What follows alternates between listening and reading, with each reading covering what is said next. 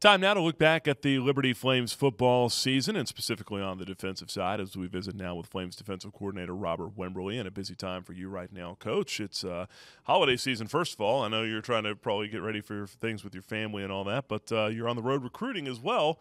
Uh, give us an idea what the last few weeks have been like for you. Uh, well, you know, last two weeks we've been out on the road uh, trying to find some future Flames, uh, young men that want to be a part of our family, and thus far it's going very well. Got a big weekend uh, today, and so we're really excited. Uh, really been hitting the southeast very hard before we talk about the defense, just kind of talk a little bit about the recruiting aspect as much as you can. I know Coach Gill said the class probably be in the 15 to 17 range. Uh, what are some of the specific needs you guys are addressing? Well, we're trying to address our defensive line. Uh, we're going to be uh, looking to sign uh, two to three young men there. Linebacker, we're looking to sign two. And then in secondary, is kind of uh, it can go either way far as corner or safety, looking to sign anywhere from two to three. Uh, so we feel like we're very excited about the young men that have shown interest in us. And like I said, the next weekend today and the uh, next weekends in January are going to be very big for us. You look at your unit from this year, one of the biggest improvements has to be in the turnover margin. You guys were able to take the football away pretty much at will this year. Uh, was that the biggest uh, area of improvement you saw, and how where do you want to see this unit get better next year? Well, yes, definitely. You know that was a challenge that we made the year before. We only had 14, and uh, so that was a challenge going in from winter workouts to spring, even in the summer. Uh, first summer was had the opportunity to be with them for two hours a week, and it, going into camp, that's what we kept uh, preaching and communicating to our young men. I think they took hold of that and uh, did it with great pride. Uh, we, we, always knew if we had opportunity to get the ball away, that gave our offense another opportunity to score. So, you know, I think our young men from the first game to the last really tried to make sure that we did that because we knew that can change the game for our betterment.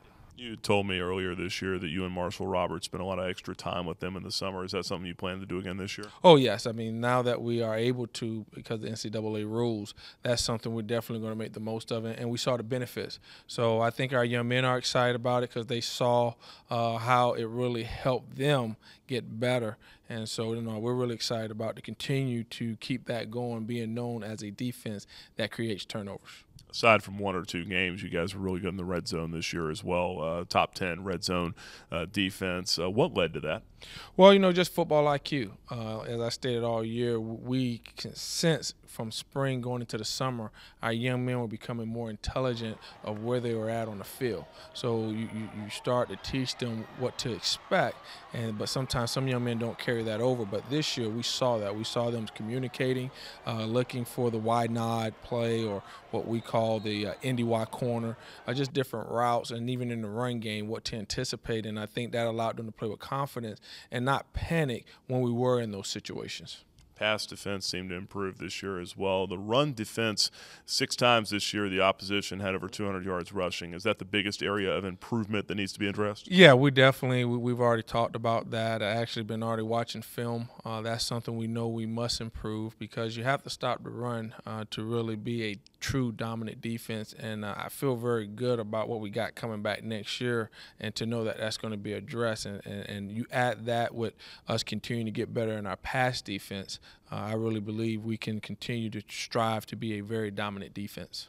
a word I heard a lot, a couple words I heard a lot this year were gap integrity and and and you know, doing assignments as, as far as that goes. But uh, is that uh, w- one of the biggest areas that you think uh, kind of led to that? Well, you know, it, multiple reasons. Uh, you know, you just can't pinpoint uh, one game it could have been the perimeter, the way we fitted the perimeter. One game it could have been, you know, um, just gap integrity, and, and, and quite a few games, especially early in the season, we had a lot of missed tackles. Uh, we were right there, but we didn't fit and or we didn't tackle properly. And so, you know, those things we're, we're excited get corrected. Just like last year, we couldn't get the turnovers. We, we, we stressed it. We talked about it. Uh, we got more mature young men. Uh, we returned quite a few young men. So I'm definitely excited to get back with them uh, when we're able to in the off season and uh, teach. Talk uh, and watch them develop because I, I know our young men are going to take that challenge to be able to stop the run when you look at some of the personnel that you do have coming back uh, next year, the defensive line looks very deep. I mean, Irwin DeSources is pretty much the only, you know, one of the only seniors you're losing up there. You got Jawan Wells, Tolan Avery, Devontae Brown. All those guys are going to be upperclassmen. How excited are you for that unit? Well, I'm definitely excited because uh, you know that those young men were very disappointed in um, the run game. And I think they're definitely working hard in the weight room already. Just in my communication with them, um, even during the last two and a half weeks, you, you know they have a little grudge. They they want to prove that you know we do stop the run. And then you throw in uh, Greg Story, you throw in uh, DeCarlo Hamilton, Will Brown. Uh, you know you're talking about young men that you know that they're excited to showcase what we are able to do defensively. And Will Brown, a guy that was uh, fighting a lot of injuries this year as well. Hopefully, he can be right for next season. Uh, the linebacker spot, one of concern. Obviously, Nick Newman, Dexter Robbins, two very high impact players that are gone. Uh, I know that you work to try to get Lucas Irons and Jalen McKinney some more playing time this year. How confident are you in those two going into next year? Well, I'm real excited about them. They, you know, especially Lucas. He's been with us for three years. You know, he got redshirted, and then you look at Jalen McKinney. He's been been with us for two years. So, yeah, they may not have have had a lot of snaps at linebacker, but they've been very productive for us in special teams. And so, you know, now is the classic time when you lose great players like Nick Newman and Dexter Robbins. What you're hoping for is because they had game experience and they've been in the room with Coach Bookbinder and myself when we had unit meetings.